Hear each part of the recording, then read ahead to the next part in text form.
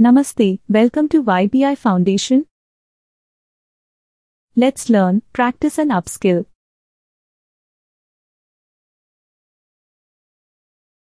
Let's understand about CSV file.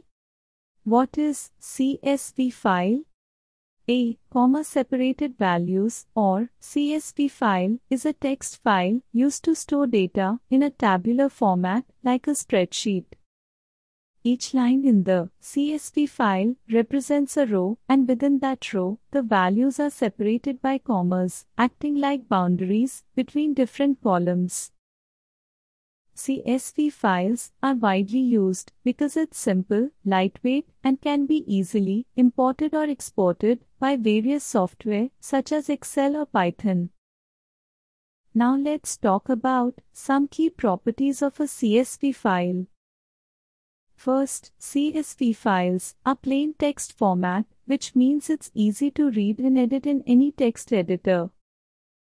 Second, CSV files are lightweight, making them perfect for storing large amounts of data without consuming too much space.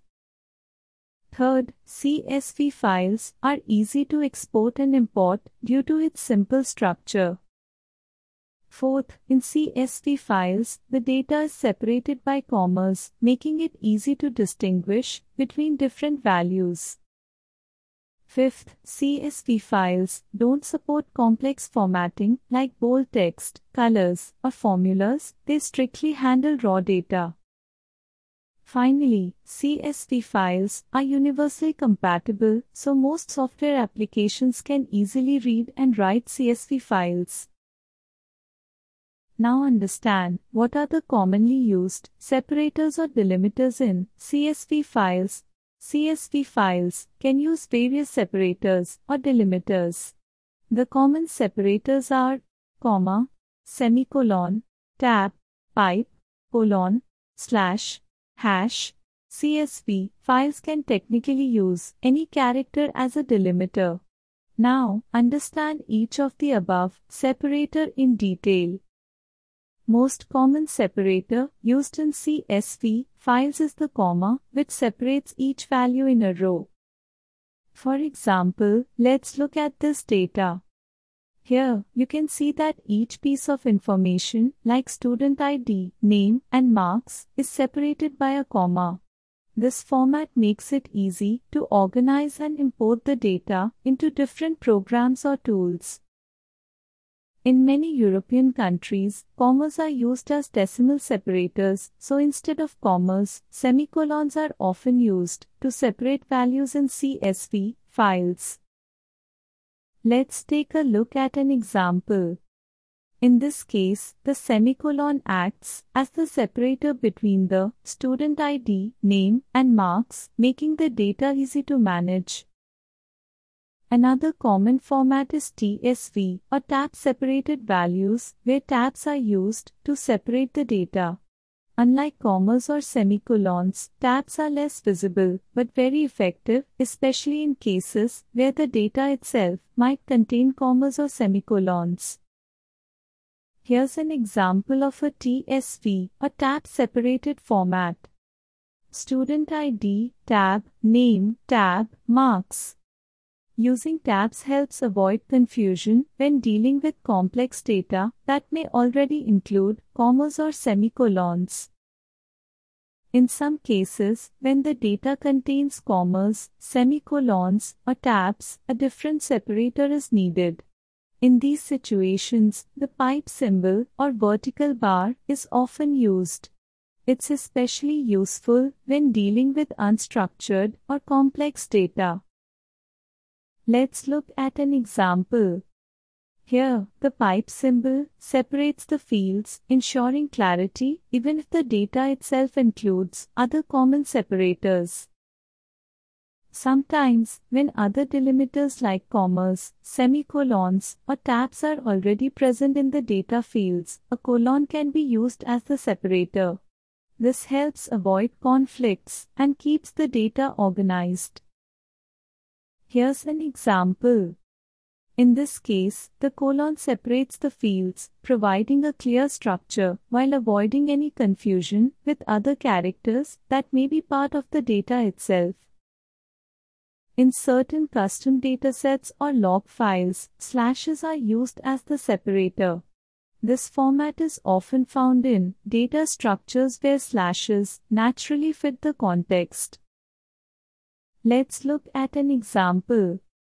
Here, the slashes divide the fields, offering a simple and clean way to separate the data. In some custom applications, the hash symbol or hashtag is used to separate fields. This is often chosen when other common separators, like commas or colons, are already in use within the data. Here's an example.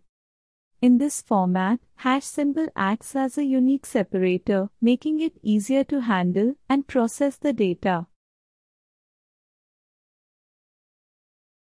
Let's understand how to read CSV file using the pd.read underscore CSV function from the pandas library. This function will take two arguments, first is file path and second an optional argument as sep or separator. Now, let's break down the code. pd.read underscore CSV this is a function from the pandas library that reads CSV file and converts it into a data frame, which is a table-like structure in pandas. File path This is where you specify the location or address of CSV file that you want to read. Sep, short for separator, this parameter lets you specify which character is used to separate values in CSV file. If you don't provide a separator, pandas will assume the default separator as comma. Now understand how to read comma separated CSV file using the pandas library. First, import pandas library as PD. Read a CSV file using the pd.read underscore CSV function. We provide the file path or address. For comma separated files, there is no need to define sep or separator. Comma is a default separator for this function. Here is an example where we have a CSV file that contains student data such as student ID, name, and marks. Pandas library will display the data in a neat tabular format just like a spreadsheet. You can now perform various operations on this data, such as filtering, sorting, and analyzing it. Now let's understand how to read a semicolon separated CSV file using the pandas library. First, we need to import pandas as PD. For reading semicolon separated files, we use the df equals pd.read underscore csv with the file path followed by sep equals semicolon in quotes. This time, we must specify the optional argument sep or separator because the default is a comma and here we are using a semicolon. Here's an example. We have student data in a CSV file with fields like student ID, name, and marks separated by semicolon. The data looks like this. If you don't specify the correct separator like this, df equals pd dot read underscore csv with just the file path, it will not work properly. The correct syntax is df equals pd dot read underscore csv with the file path and sep equals semicolon in quotes. Once you execute this, pandas will correctly read and display the data in a tabular format. Now let's understand how to read a tab-separated file, also called a TSV file, using the pandas library. For reading tab-separated files, we use the df equals pd dot read underscore csv with the file path followed by sep equals a tab character inside quotes. This time, we must specify the optional argument sep or separator because the default is a comma and here we are using a tab. Here's an example. We have student data in a TSV file with fields like student ID, name, and marks separated by tabs. The data looks like this. If you don't specify the correct separator like this, df equals pd dot read underscore csv with just the file path, it will not work properly. The correct syntax is df equals pd dot read underscore csv with the file path and sep equals backslash t in quotes. Once you execute this, pandas will correctly read and display the data in a tabular format. Time to check your understanding. Did you know what does the sep argument in the pd underscore csv function do? Option A, it specifies the column to be used as the index of the data frame. Option B, it skips rows from the top of the CSV file while reading. Option C, it defines the delimiter or separator to use when reading the CSV file. Option D, it fills missing values in the CSV file with the default value. Which is the correct option?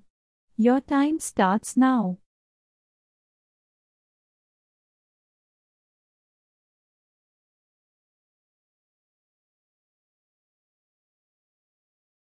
The correct answer is option C because the sep argument in the pd dot read underscore csv function is used to specify the delimiter or separator that is used to split columns in the CSV file. By default, the separator is a comma, but sep argument allows you to use other delimiters like tab, semicolon, or spaces.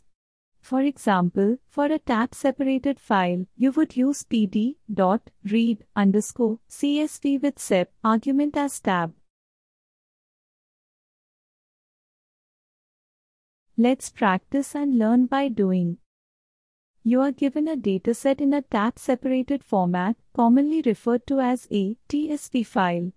Your task is to read this file into a pandas data frame. But remember to specify the file as tab separated. To download the correct answer with explanation of all the practice problems for free, follow the instructions given in discussion or comment section. Let's like and subscribe for more quick insights. Thanks for watching. अधिक जानकारी के लिए like करें subscribe करें देखने के लिए धन्यवाद।